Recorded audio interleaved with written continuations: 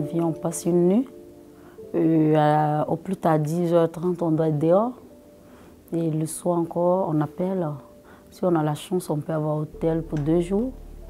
Et on nous met dehors.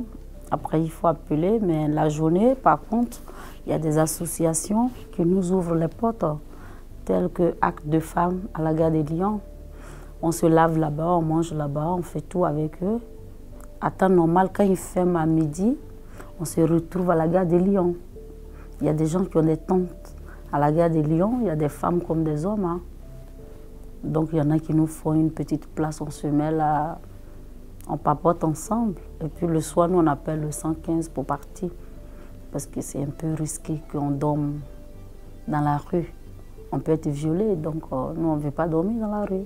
Nous qui n'avons pas les papiers, ils nous demandent depuis quand, pourtant ils savent que ça fait trois ans, on les appelle.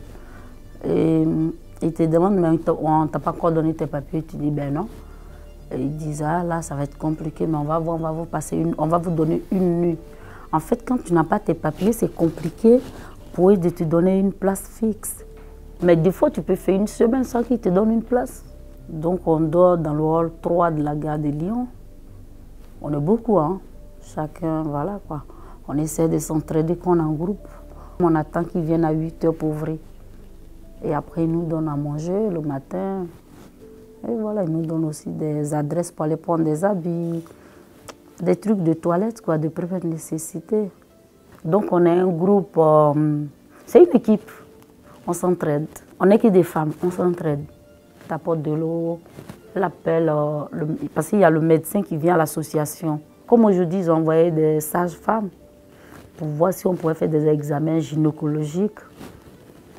Ils nous ont fait passer des visites. On, est beaucoup, on se soutient beaucoup, mais il y a beaucoup de violence parce que surtout vers 3 heures du matin, on doit être très vigilant, on ne doit pas dormir. Parce que tout peut arriver en ce moment-là. Tout peut arriver. Parce que souvent, il y a des jeunes, ils ont des couteaux, ils ont bu, ils peuvent devenir agressifs, très violents. Donc, on reste sur nos gardes.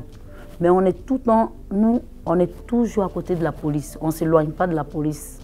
Et la police sait qu'on est là. Donc il veille un peu sur nous sans nous le dire.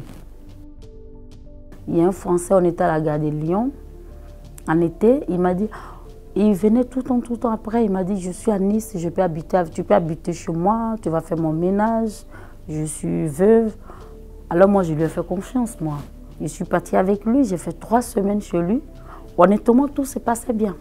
Je faisais mon ménage, je faisais à manger, et maintenant, la dernière minute, il veut passer au lit avec moi. Je lui ai dit, ah non, moi je ne fais pas la prostitution, ça ne se passe pas comme ça. Il me fait, mais je couche avec toi, je te fais les papiers. J'ai dit, non, si tu ne veux pas coucher avec moi, tu pars à Paris. Je te donne 24 heures. C'est des situations, quand tu n'es pas éveillé, il peut, il peut arriver le pire même. Ben, il arrive qu'on travaille aussi au noir. Hein. On n'a pas le choix c'est mieux de travailler au noir que de faire la prostitution. On ne va pas me condamner pour ça. Donc, euh, il a mon travail au noir. Moi, maintenant, je travaille au noir, j'ai 200 euros par mois. Tout juste quelques heures de ménage. Presque tout le monde. Tout le monde travaille. Bah, on n'a pas de papiers, ça fait plus de 10 ans en France. Il faut bien vivre. Voilà. C'est comme ça on vit.